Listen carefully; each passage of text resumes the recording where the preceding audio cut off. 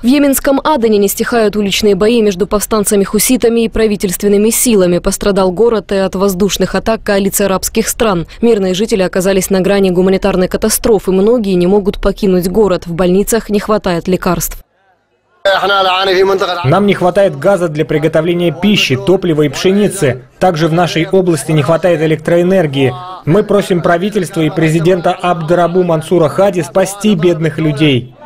Хуситы отрицают распространившиеся ранее сообщения о том, что они захватили в Адане правительственные здания. При этом некоторые местные жители решительно настроены не сдавать город повстанцам.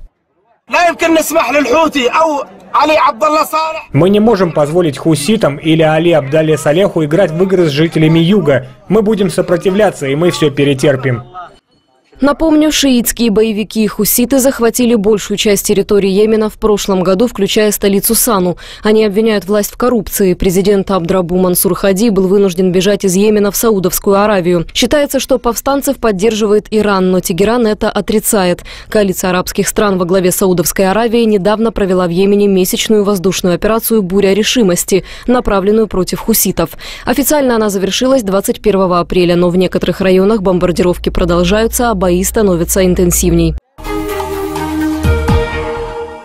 Несколько тысяч нью-йоркцев вышли на улицы города, чтобы поддержать протестующих в Балтиморе. Напомним, после похорон 25-летнего афроамериканца Фредди Грея там начались массовые демонстрации. Мужчина скончался из-за травмы позвоночника. Предполагается, что он получил ее после задержания полиции. Мероприятие в Нью-Йорке, которое началось мирно, завершилось задержаниями. Полицейские взяли под стражу более 60 активистов, которые пытались заблокировать тоннель и некоторые дороги. Это похоже на то, когда людей притесняют, и они находятся словно в скороварке. А когда давление усиливается, она взрывается, и невозможно проконтролировать, куда полетят осколки. Поэтому я сочувствую и понимаю, когда они выходят. Вместо того, чтобы смотреть в корень, мы смотрим на мятеж, хотя важнее всего это корень. Убили человека, лишили его жизни. Думаю, мы должны обращать внимание на это, а не на защиту зданий или другого имущества. На улице Балтимора также вышли тысячи протестующих, но по сравнению с предыдущими днями демонстрация проходила спокойно. Из-за беспорядков, охвативших город в понедельник и вторник, власти ввели комендантский час, а также призвали на помощь солдат Национальной гвардии. Демонстранты требуют наказать всех виновных в гибели афроамериканца. Расследование обстоятельств этого инцидента проводит Министерство юстиции США. При этом прокуратура еще не решила, выдвинет ли обвинение против полицейских. За прошедшие сутки в зоне АТО погиб один украинский военнослужащий, четверо получили ранения. Ситуация остается стабильно напряженной. Противник нарушает режим тишины, использует тяжелое вооружение, 120 миллиметровые минометы и 122 миллиметровые пушки. На Маріупольському напрямку відновилися перестрілки у селищі Широкине, де противник проявляє найбільшу активність у темну пору доби. На інших ділянках цього сектору оборони вчора було відносно спокійно. На Донецькому напрямку тривають обстріли наших позицій в районі Донецького аеропорту. Найбільш напружена ситуація склалася в районі селища Піски. Там незаконні збройні формування найбільш активно використовують заборонене озброєння, внаслідок чого наші військовослужбовці вимушені відкривати вогонь у відповідь. Неспокійно і у північних передмістях Горлівки. Вчора в районі селища Зайцеве відбулося бойове зіткнення наших бійців з диверсійно-розвідувальною групою противника. Внаслідок влучного вогню сил антитерористичної операції ворог відступив.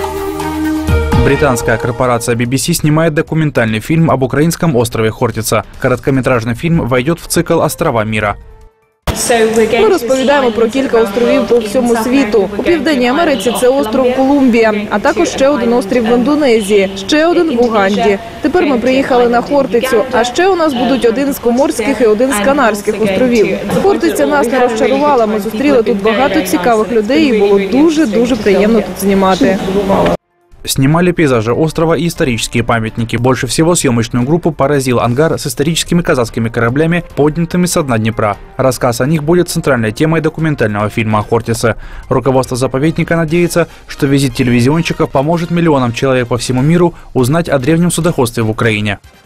Ми сподіваємося, що е, так промоушен цих знахідок і перспективи створення е, музею історії судноплавства воно силами того ж каналу BBC, воно дозволить набагато з більшою цікавістю повернутися до цієї теми, тому що насправді дуже часто українці забувають, що ми не тільки степовики, ми не тільки гречкосії і землероби. Ми е, в значній мірі морська держава, яка має багатющу багатотисячолітню історію освоєння річок, морів, морських походів, морських битв.